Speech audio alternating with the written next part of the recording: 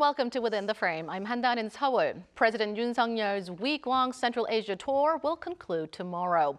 During his trip to key Central Asian nations, namely Turkmenistan, Kazakhstan, and Uzbekistan, he discussed with his counterparts on ways to elevate their partnership to a new level with a shared vision for sustainable growth and economic diversification.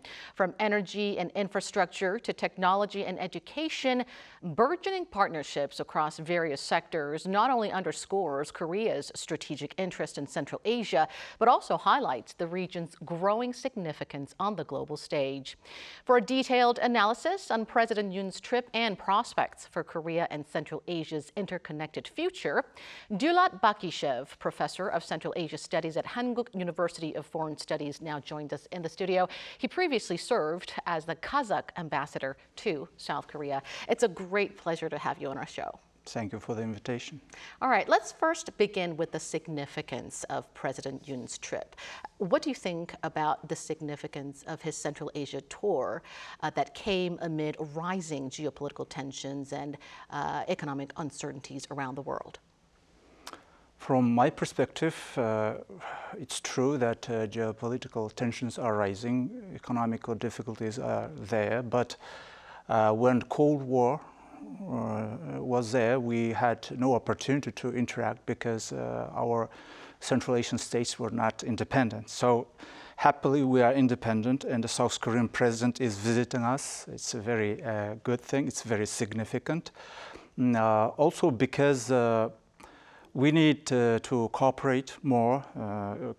Korea can offer us modern technology and a developed country's uh, view on uh, life, let's speak like that. Uh, and uh, we can offer uh, not only resources, I mean natural resources or key minerals, but uh, we have very young, talented and energetic people Right. Uh, things have gotten so much better since the Cold War era, but but still now the world faces growing trade protectionism and competition is also fierce to secure critical minerals. And so hopes are high that President Yoon's trip to Central Asia uh, will help achieve just that and also help facilitate mutually beneficial economic cooperation between Korea and Central Asian nations. President Yoon's K Silk Road initiative was front and center during his summits uh, with leaders of Turkmenistan, Kazakhstan, as well as Uzbekistan. What are your thoughts on the initiative and how do you gauge the economic as well as political benefits of the regional strategy? So when we talk about states, diplomacy is very important. Uh, so uh, uh, face-to-face talks, uh, visiting each other, very important, let alone uh, critical minerals or uh, economic benefits. Uh, but also, uh, I have noticed that new initiative is based on what we had before during 30 years of interaction between our states. And now the word Silk Road K Silk Road is uh, very significant because Silk Road, Road is what we are in Central Asia. We were part of the Silk Road, but not only part, but we were center of Silk Road. So I think Korea uh, now uh, found right way, right tone uh, to address issues, to cooperate with us, to build friendship. And uh, I think that is uh, most significant for me. The K Silk Road uh, initiative encompasses cooperation with Central Asia in resources and uh, official development assistance, as well as cultural and people to people exchanges. Uh, and so, as you mentioned, similar cooperation uh, has been there before, but hopefully the new push for the K Silk Road initiative will create a new momentum to further elevate a partnership between Korea and Central Asia. Now, zooming in on a Korea-Turkmenistan cooperation, the two sides agreed to boost cooperation in large-scale energy and infrastructure projects worth a total of over $6 billion. Now, how do you evaluate those agreements made? And what are your prospects for future Korea Turkmenistan industrial cooperation? So according to World Bank, uh, Turkmenistan has significant uh, deposits of gas uh, on land and offshore. And uh, I think uh, Turkmenistan, obviously, as other states, needs, needs cooperation, technology, know-how from developed countries like South Korea. Uh, the fact that South Korean president, actually, it is tireless effort by him, uh, visiting three countries in a week time. It's uh, not easy uh, for presidents uh, to take uh, that much uh, time out of their busy schedule. But still, Turkmenistan, in my opinion, will benefit from this visit. he was accompanied by business leaders. Hyundai Engineering was there. Doosan Enerbility was there. Enerbility was there. So Turkmenistan has gas and uh, Korea has technology. So good match, I think. And uh, uh, uh probably uh, these are not, these two projects are not uh, lost in my opinion.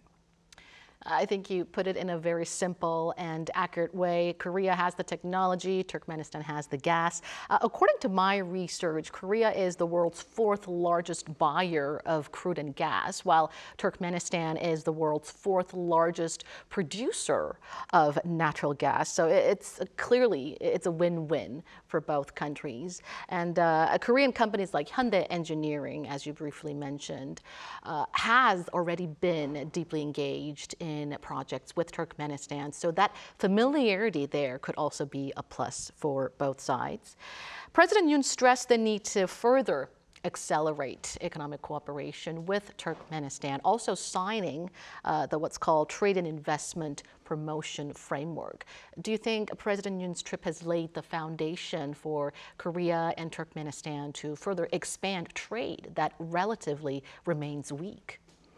Right. Uh, in terms of trade, uh, numbers are not significant, but uh, there's room uh, for growth.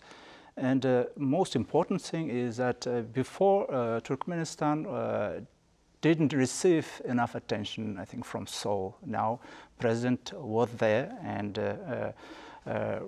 Silk Road Initiative also means assistance and drive. Uh, which can be said in you know in simple words follow up. So projects will be followed up and uh, uh, I think if you put input then you get output also. Now to Kazakhstan. Leaders of Korea and Kazakhstan agreed to broaden the scope of the two countries' economic cooperation to beyond traditional boundaries, now focusing more on critical mineral supply chains. How do you foresee the two countries working together for uh, joint exploration, development, as well as commercialization of critical minerals? I think START uh, is already there. Uh, KIGAM and uh, Kazakh uh, committee, uh, relevant committee, signed MOU recently, and uh, KIGAM already uh, has discovered uh, uh, lithium in, in East Kazakhstan region. And it is a big deposit, around 15 billion US dollars. And this is a start, good start. I think uh, Korea was given this deposit not by chance, because Kazakh uh, scientists and uh, relevant authorities had enough information that this place might contain lithium, enough lithium for bilateral projects. So I think it's a good start. The as you've uh, briefly mentioned, the Korea Institute of Geoscience and Mineral Resources have worked very closely with Kazakh scientists and researchers and officials uh, for the past three years, they say, uh, to win the exclusive rights to explore lithium mines in Kazakhstan. And, and we hear that the select lithium mines in Kazakhstan is estimated to contain over 25,000 tons of lithium, which is enough to produce batteries for over 3 million electric vehicles. Now that's a lot. Right. so uh, some very exciting development and we'll keep our fingers crossed for some very successful results. Korea and Kazakhstan also vowed to boost cooperation in the energy sector. They signed a slew of MOUs in areas including renewable energy, the SMR, or the small modular nuclear reactors, uh, also in modernization of older plants as well as gas processing plants as well. How do you assess the competitiveness of Korean companies in those areas? Uh, from my uh, experience in Korea, actually I have visited uh, facilities back in 1997 when it was uh, Hankook uh, then it was privatized in 1997. Even at that time, yeah, I was impressed by facilities, uh, by size, sheer size of turbines. and Doosan is a not a new player in Kazakhstan uh, it has already built one big project in Karabatan. It's a uh, oil-rich uh, western Kazakhstan region.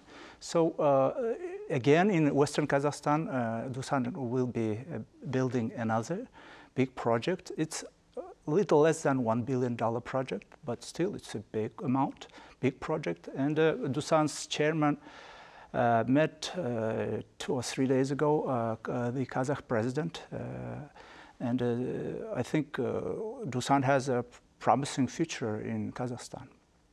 And uh, if I may add, uh, Korean, uh, when it comes to nuclear power plants, Korea uh, is known not only for its technological edge, but also for its cost effectiveness, right? Costs are relatively lower compared to its international competitors. And it's a field that has full government support, that is backed by full government support. So it is uh, definitely one of Korea's most competitive industries. And in related question, how are Koreans or Korean companies generally perceived uh, in Kazakhstan? Uh, and what could be some challenges Korean companies could face along the way during their course of expanding economic cooperation with their Kazakh counterparts? I can say two things. First, uh, Korean companies are well known in Kazakhstan. Probably Korea is one of few countries, industrialized countries, uh, which are building something in Kazakhstan. It is very important for our government and for our people to see uh, it is important part. And the second thing I wanted to mention uh, is uh, you are right to say that uh, Kazakhstan and Central Asia is a very competitive market. We have neighbors, big neighbors, uh, including China. Uh, for example, copper is one of major export item for Kazakhstan economy. And uh, uh, China is now building a big uh, multi-billion dollar copper plant in East Kazakhstan. So it is important for Korean companies not only be competitive in terms of uh, technology, know-how, etc., but also uh, it is very important to have uh, political muscles. Yeah, so that's why this visit is important. Now, you briefly mentioned about the major regional players like China as well as the U.S. Uh, vying to further boost their economic cooperation with Central Asian nations and sort of uh, uh, increase their influence in the region. What do you think about that? How does Kazakhstan or other uh, Central Asian nations balance those, uh, those um, efforts being made by big regional players? This is market. You know, you have uh, more offers, you can get better product, you can find better solution for your existing problems or issues. So, uh, being in the center of uh, attention from big players is good, uh, but it is also, uh, you know, very important uh, from our side to uh, be able to choose.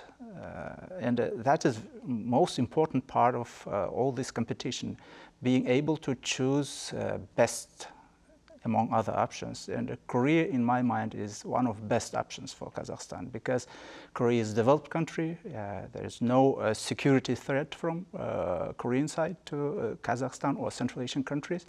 And uh, we have seen from our experience that if Korean companies start something, they usually finish. Now, during the Korea Uzbekistan summit that concluded just a few hours ago, uh, the two leaders signed a nearly a near $200 million export deal for South Korea to supply homegrown KTX bullet train to Uzbekistan. How do you view this development, and also what other aspects of the summit stood out to you?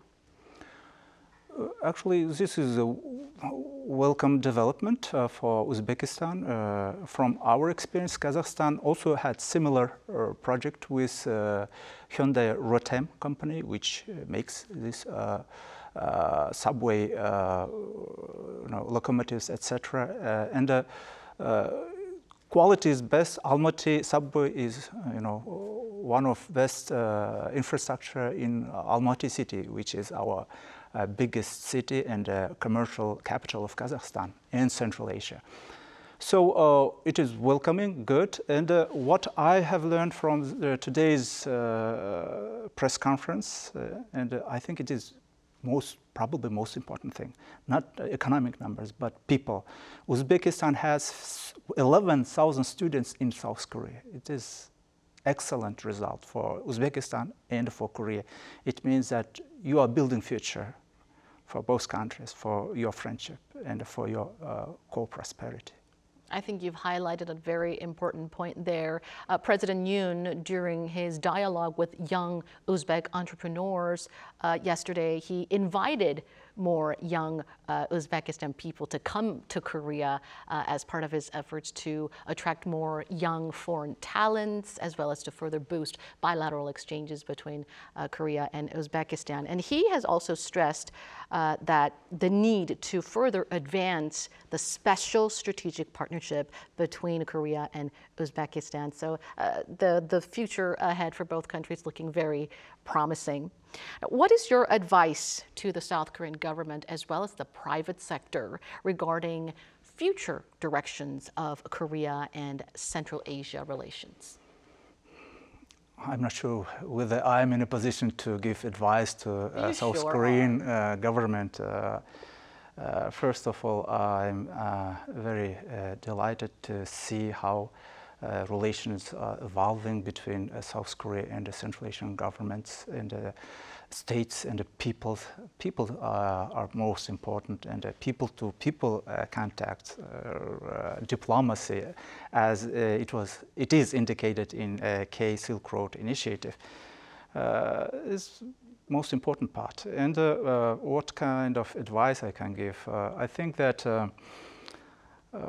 Central Asian states uh, are old enough. Uh, historically, uh, we have a civilization dating back to thousands of years. main export item historically was religion. for example, Buddhism came uh, from India through Central Asia to Han China and Korea. Uh, and uh, culturally, we are very close because of Silk Road. So my uh, advice is just uh, to rely on uh, uh more on uh, also uh, Central Asian soft power to help to develop Central Asian soft power, education, science. And I'm not uh, saying that uh, nothing has been done, uh, particularly with vis-a-vis -vis with Kazakhstan, Central Asia will get KAIST branch in Turkestan city. AI department will be opened in Kyzylorda city by Soltech. So uh, things are being done, and uh, I hope that we will have more in the future.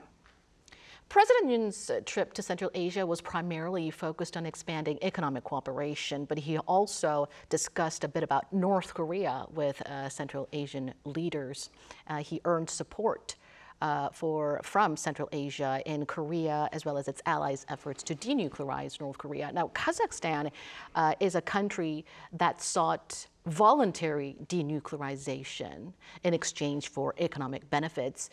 Do you still believe that North Korea can learn from Kazakhstan's denuclearization experience?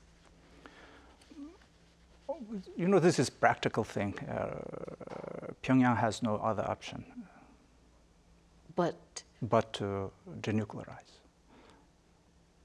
It's a, it's a practical option, and there is no way out for North Korea but to denuclearize, and uh, we cannot stress that importance enough.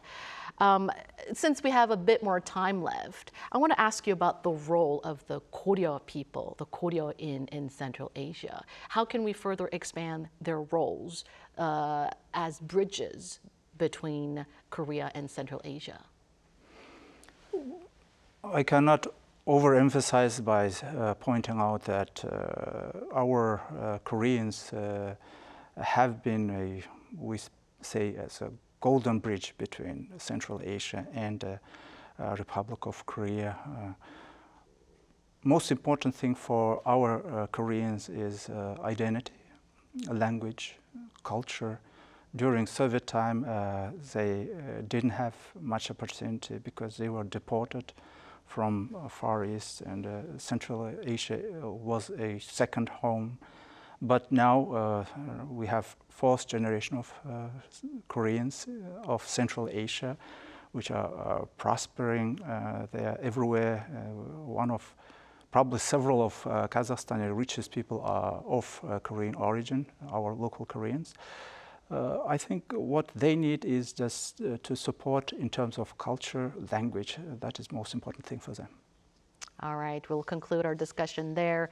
Uh, and hopefully President Yoon's Central Asia tour will create a new platform to further boost strategic, economic, as well as political partnership between Korea and Central Asian nations. Thank you so much, Professor Bakishev, for making time for us and sharing your valuable insights. Thank you for inviting me. And that brings us to the end of this show. Thank you for watching, and we'll be back with more same time next week. Have a great weekend.